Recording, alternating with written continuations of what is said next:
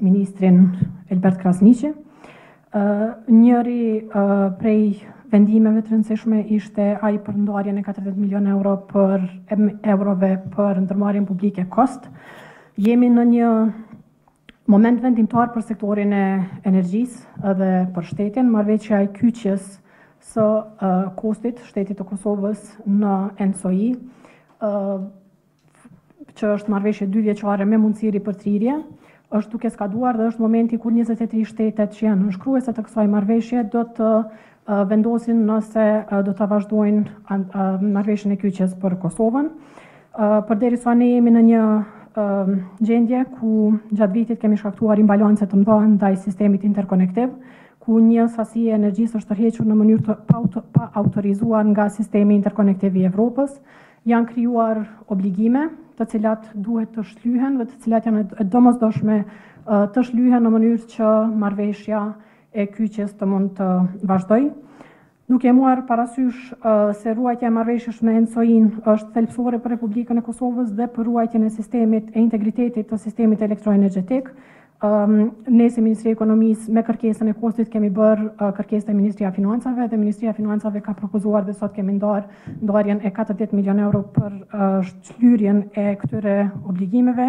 që mundësojnë përmbushjen e detyrimeve të shtetit të Kosovës dhe KOSTT-it ndaj ENTSO-E-së dhe vazhdimin e marrëveshjes së kyçjes. Një vendim tjetër me rëndësi ka të bëjë me ndërmarrjet publike, me sektorin e transportit hekurudhor, me propozimin e Ministrisë së Ekonomisë, sot kemi vendosur të shkarkojmë tre anëtarë të bordit të ndërmarrjes publike Infrakos, zotri Afrim Mehmetaj, zotri Selatin Retkoceri dhe zotri Ilir Zhitia. Tre anëtarë të tjerë të bordit kanë dhënë dorëheqje paraprakisht. ndërmarrjes Ndërmarrja publike Infrakos ka ngecur në realizimin e objektivave afariste, meqenëse nuk ka shkaqe objektive që do të mund të merreshin parasysh, mirëpo qeveria ka konsideruar se bordi i drejtorëve ka bërë shkelje të detyrave fiduciare duke mos i adresuar me efikasitetin e duhur sfidat e shumta me të cilat kjo ndërmarrje ballafaqohet dhe prandaj kemi vendosur për shkarkimin e anëtarëve të mbetur dhe emërimin e një bordi të përkohshëm,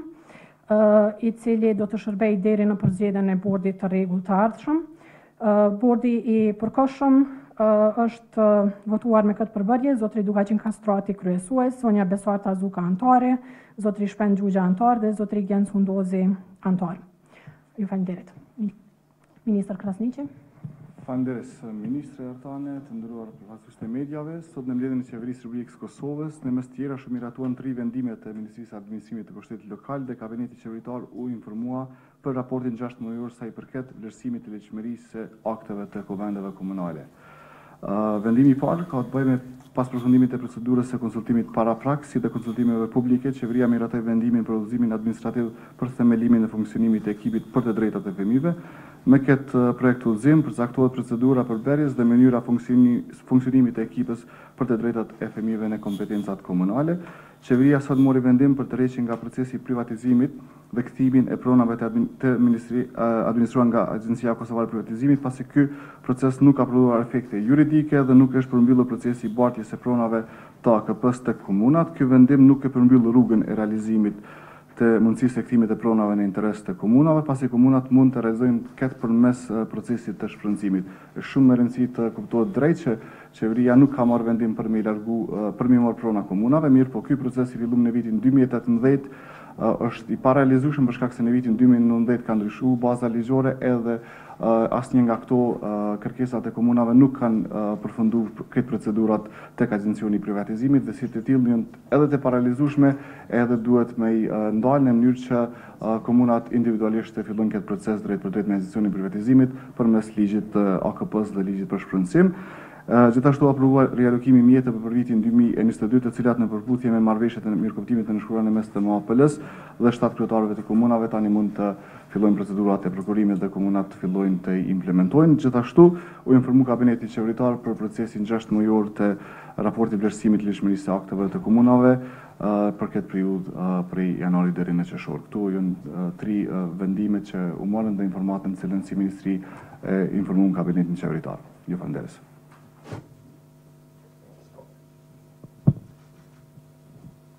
Fatlum Jashari, ATV, I kam dy pyetje për ministren Rizvanolli. E para është lidhur me zotimin e qeverisë për ndarjen e nëntëdhjetë milionë eurove për subvencionimin e faturave për konsumatorët që është bënë në muajin shkurt, pra para gjashtë muajve. Së fundi kemi një kërkesë për shqyrtim të jashtëzakonshëm të të hyrave maksimale të lejume prej furnizuesit universal. që kërkon me u shqyrtu tarifat për shkak të mos ndarjes së rreth tridhjetë e dy tre milionë eurove që janë kriju janë akumulu prej prej subvencionit nevojë për me u për me u nda me ç'rast për shkak të mos ndarjes thonë se janë tu operu me me kosto më të ulët kjo mund me çu në rritje të të tarifave së shpejti kur pse edhe kur pritet Pse nuk janë nda deri tash edhe kur pritet me me u nda këto mjete financiare të zotume prej qeverisë së Kosovës edhe çështja e dytë është katërdhjetë milion që u ndanë sot për KOSTT-in a janë të lidhura këto katërdhjetë milion me mos zbatimin e udhërrëfyesit pra me mos kryerjen e obligimeve tash që i ka marrë Elektroseveri me licencën prej mujit të kalum Faleminderit. Faleminderit për pyetjet Fatlum, sa i përket pyetjes së parë në lidhje me subvencionimin e tarifave të konsumatorëve, qeveria e Kosovës mbetet e përkushtuar që të mbështesë qytetarët nga një rritje e papërballueshme e tarifave. Deri tani kemi qenë duke punuar me disa pauza në gjetjen e zgjidhjeve teknike e operacionale për ta realizuar subvencionin. Javën e kaluar kemi marrë kërkesën nga ana e ZRE-s, konfirmimin se kalkulimet që janë bërë nga ana e furnizuesit të shërbimit universal janë të sakta dhe kemi marrë kërkesën për pagesë. Jemi në konsultim edhe me Sekretariatin e Komunitetit të Energjisë dhe USAID-ën, të cilët kanë ofruar mbështetje teknike për mënyrën e realizimit të marrëveshjes, është diçka në të cilën jemi duke punuar intensivisht dhe besojmë që do të ndodhë shumë shpejt. Sa i përket pyetjes tuaj të dytë, Udhërrëfyesi për energjinë, i cili është nënshkruar në këtë pranverë, bazohet në marrëveshjet paraprake të viteve dy mijë e trembëdhjetë dhe konkluzioneve të vitit dy mijë e pesëmbëdhjetë. Parasheh një afat kohor për realizimin e kësaj marrëveshje. Ky afat kohor parasheh që përfundimi i realizimit të jetë në më një tetor të datës 2022. Në ndërkohë, ne, ne jemi të përkushtuar që të vazhdojmë nga njëra anë të jemi konstruktiv dhe të realizojmë marrëveshjen në mënyrën se si kemi të realizojmë pikat tona që varen nga ne si shtet të marrëveshjes. Nga ana tjetër, ndërkohë ne mbetemi të obliguar, zotimet që i kemi marrë ndaj ENTSO-E-së me rastin e pavarësimit të Kosovës si zonë e pavarur dhe operimit në bllok me Shqipërinë, parashohin që Kosova është shtet i cili ka përgjegjësi për rrjedhat e energjisë brenda kufijve të saj. duke përfshirë të gjithë territorin e saj. Si si e tillë, marrëveshja parasheh që ne jemi përgjegjës, çfarë do rrjedhë e energjisë krijon obligime për ne ose për KOSTT-in si nënshkruese, për ne si shtet, dhe ne duhet t'i përmbushim këto obligime të krijuara si rrjedhojë e kësaj marrëveshje dhe duhet të bëjmë gjithçka që është në duart tona në mënyrë që të mos rrezikohet marrëveshja me ENTSO-in. Përndryshe, vlera e ndarë parasheh që të mbush përmbushen detyrimet deri në momentin kur i kalon afati i zbatimit të udhërrëfyesit. Jo më tej. Siç është thënë edhe ma herët edhe prej kryeministrit edhe prej zyrtarëve të tjerë. Besnik Tahiri, Klan Kosova, zonja Rizvanolli, a mundesh me na tregu cilat janë mbase dy arsyet kryesore pse po çalon realizimi i udhërrëfyesit për energjinë në veri të Kosovës dhe sa ka faj politik Serbia këtu dhe a mundet mu realizu ajo që thotë Bashkimi Evropian që dy palët duhet mu marrë vesh për shkak se sipas tyne ata janë në një farë forme lehtësues po jo edhe palë në këtë rast. Dhe kam edhe një pyetje për juve zotri Krasniqi, nga Shtetet e Bashkuara të Amerikës, përfaqësuesi i lartë për Ballkanin Gabriel Escobar flet për idenë që Kosova si shtet duhet me u tregu e hapur për një model evropian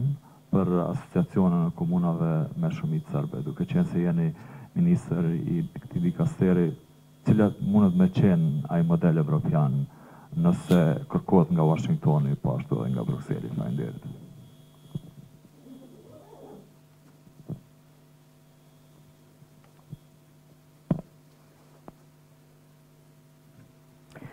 Faleminderit për pyetjen Besnik.